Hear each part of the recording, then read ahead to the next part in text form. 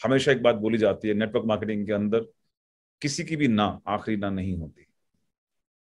पिछली बार की तरह इस बार भी हमने इस बात को सीखने का आज हमको मौका मिल रहा है कि एक अनुभव लेने के बाद में अमरपाल पटेल जी ने जो इस तरह से शुरू किया था 2003 से अपना सफ़र, पाँच साल जम के काम किया, साइकिल से यू नो ट्रक से बस से, सब जगह से स्ट्रगल करके काम किया, लेकिन सफलता नहीं मिली। और जब अनुभव खराब होता है तो अनुभव एक टॉर्च की तरह काम करता है, आगे की तरफ़ हमको वही लाइट दिखाई देती है या उतना ही दिखता है जो हमारे अनुभव हमें दिखाते हैं। और ये बदल सकते हैं। इंपॉर्टेंट है, ये बदल सकते हैं। कैसे? अगेन अनुभव बदलिए, लोगों के इरादे, लोगों के एक्शंस बदल जाएँगे। विश्वास की तो बात थी, इसलिए अपलाइन से दोबारा मिलने को तैयार नहीं थे। विश्वास की बात थी, दिमाग में बैठ चुका था कि पाँच साल काम करके बर्बाद हो गया, कुछ खास हो नहीं पाया टाइम वेस्ट हो गया और फाइनली फिर ये हो गया कंपनी के अंदर तो करना ही नहीं है, अब तो कुछ और करना है। विश्वास की बात तो थी। और जिस दिन वो विश्वास वापस आया प्रोडक्ट की वजह से कि मदर को जो प्रॉब्लम थी, एक हफ़्ते एलोपैथिक छोड़ने के बावजूद भी वेस्टिज के प्रोडक्ट ने चमत्कार किया, वो विश्वास जैसे ही स्विच हुआ, वापस पुराना जुनून, वापस पुराना पैशन नेटवर्क मार्केटिंग के साथ बुने हुए सपने वापस ज़िंदा हो गए। तो ऐसे बहुत सारे लोग हमको मिलते हैं जिनसे हम बात करते हैं, जिनको हम प्रोस्पेक्ट करते हैं, जिनको हम प्लान दिखाते हैं और उनका रिएक्शन शुरुआत में हमारे साथ ऐसा होता है। और हम क्या करते हैं? बहुत जल्दी खुद भी निराश हो जाते हैं, यानी कि उन अनुभवों को अपने ऊपर शामिल कर लेते हैं। और हम भी उस लिस्ट में चले जाते हैं कि जी, हमारे पास भी कोई आया था, हमने भी देखा था, सुना था, वैसे लेकिन किया नहीं। मुझे उम्मीद है आज के बाद में शायद आप में से बहुत सारे लोग इस गलतियों को आज के बाद से यहीं से बाय बाय करने वाले हैं। और फॉलो करना बंद मत कीजिए किसी को। जिसको भी आप आज बता रहे हैं, आज अगर वो मना कर रहा है तो वो आपको मना नहीं कर रहा। वो अपने पुराने अनुभवों के कारण उसको वही चीज़ नज़र आ रही है, इसलिए वो मना कर रहा है। और जिस दिन आपने उसके ये एक्सपीरियंस बदलने में मदद कर दी, दो तरीके से। हमारे प्रोडक्ट भी वो काम करते हैं और हमारे इवेंट भी वो काम करते हैं। बहुत बार हमारे पेरेंट्स कितनी सारी उलझनों में होते हैं, वो अपने आप में कितने परेशान होते हैं और वो हर पेरेंट ये कोशिश करते हैं कि वो अपनी तकलीफें आप तक भी ज़ाहिर ना होने दें। हाँ एक हमें जो हमें दिखता है, वो दिखता है कि हमें उनसे अभी ये चाहिए था या उनको हमारे लिए ये करना चाहिए था और वो नहीं कर पा रहे। और कई बार ऐसी सोच हमारे रिश्तों पर फ़र्क डालती है, असर डालती है। हो सकता है शायद वो जिस सिचुएशन से गुजर रहे हों, हमें शायद उसका एहसास ना हो। क्योंकि वो अपनी तरफ़ से तो कोशिश करते ही हमारे लिए बेस्ट करने की। लेकिन कई बार हमारे हिसाब से वो नहीं हो रहा होता जो हमारी इच्छा में होता है। जैसा अमर ने बताया कि इनका भी फ्रस्ट्रेट होना गलत थोड़ी था। 2000 यू नो पिछले कई सालों से इलाहाबाद के अंदर फाइनेंशियल क्राइसिस ये भी झेल रहे थे। इनका भी एक समाज था, दोस्त थे तो वो साइकोलॉजी वहाँ भी थी। और अल्टीमेटली मैं एक चीज़ करना चाहूँगा कि सारी समस्याओं का जड़ क्या है आपके हिसाब से? पैसे की कमी।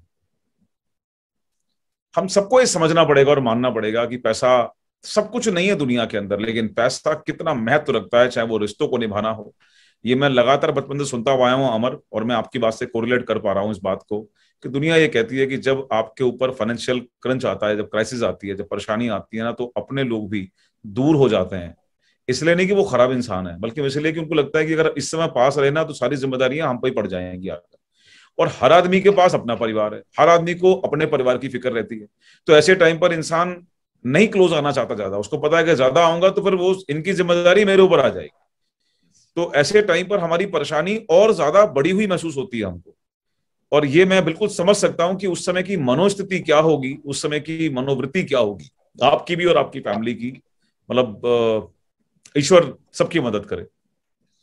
मैं बचपन से एक लाइन सुनता आ रहा था, मुझे लगता है शायद वो लाइन आज आपको बहुत अच्छी तरह समझ में आएगी सारे लोगों को, कि मैंने भी अपने बुज़ुर्गों से एक लाइन सुनी है कि बुरे वक्त में आपकी अपनी बुद्धि और आपके अपने अनुभव आपके शरीर की ताकत और आपकी जेब का पैसा ही आपके काम आता है। Yes, लोग yes. दूर होते हैं इसमें बुरा मानने की बात नहीं है अमर। क्योंकि हमने अपने समय रहते खुद की तैयारियाँ नहीं की। हम इस बिज़नेस की जब बात करते हैं अमर तो हम लोगों को ये बोलते हैं बालीसर लोगों को ये बोलते हैं कि जीवन के अंदर तकलीफों का सामना तब ज़्यादा करना पड़ता है आपको जब आप समय रहते उसकी तैयारियाँ नहीं करते। आप समय रहते पहले से प्लानिंग नहीं करते अपनी लाइफ की प्लानिंग नहीं करते कि आज मेरी उम्र ये है, जो मैंने शुरुआत में कहा, और जब मेरा परिवार अभी छोटा सा है, हम लोग ये तैयारियाँ नहीं कर रहे होते कि जब मेरे बच्चे होंगे या मेरे बच्चे जब बड़े होंगे, जब वो स्कूलिंग में जाएँगे, तब मुझे उस समय के हिसाब से महँगाई के दौर पर बढ़ते खर्चों के तौर पर, बच्चों की एजुकेशन के तौर पर मुझे उस समय कितने रुपए महीने की ज़रूरत पड़ रही होगी? और क्या मैं उस प्रोफेशन में हूँ? या जिस प्रोफेशन के अंदर मैं आज हूँ, क्या मुझे वो उस समय मेरा प्रोफेशन मेरा करंट प्रोफेशन क्या मुझे उस समय उतनी ग्रोथ दे पाएगा? और अगर नहीं देगा तो फिर इस तरह की क्राइसिस हमें झेलनी पड़ती है। इसका सीधा सा कारण है कि हम में से ज़्यादातर लोग अपने जीवन के अंदर छोटी छोटी चीज़ों की तो प्लानिंग करते हैं, लेकिन अपने जीवन की लाइफ प्लानिंग करना हम भूल जाते हैं। और जब भी ऐसा होता है, तब एक अमर की कहानी हमारे सामने आगे खड़ी हो जाती है, जिसका कारण सिर्फ़ एक है कि समय रहते अगर शायद पापा ने प्लानिंग करी होती, या उस समय उनके पास कोई अपॉर्चुनिटी होती, या उस समय नौकरी पर डिपेंड करने की जगह वो कुछ और भी काम कर रहे होते तो शायद फाइनेंशियली जो चैलेंजेस फेस करने पड़ रहे थे बाद में, वो नहीं होते। दोस्तों, आज ये मौका हमारे सामने है। अगर आप किसी एक प्रोफेशन के अंदर हैं, अगर आप आप नौकरी कर रहे हैं या आप आज कोई व्यवसाय कर रहे हैं तो शायद ये ये ये मौका है आपको एक बार खुद से बात करने का और सोचने का कि क्या हम उस पर ही डिपेंड रह सकते हैं? क्या आज के दौर में हमको ज़रूरत नहीं है कि हमारे पास भी एक दूसरी सोर्स ऑफ़ इनकम हो, जिसको नौकरी के साथ भी हम कैरी करें और वो वक्त आने पर हमारे लिए बहुत मदद करे? बहुत सारे लोग हमें से पता है क्या करते हैं लाइफ के अंदर? जब ऐसी कोई चैलेंजेस आते हैं ना तो ब्लेम मोड में चले जाते हैं।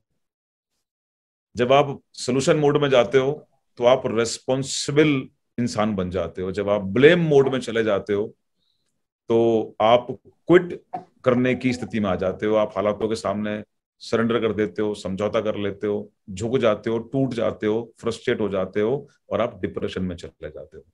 ऐसे जीवन के अंदर पल आपको तोड़ सकते हैं या आपको सफलता की तरफ़ मोड़ सकते हैं। ये आप पर डिपेंड करता है। कि आप ऐसी सिचुएशन में अपने आप को किस तरीके से या किस डायरेक्शन में लेकर जाते हैं।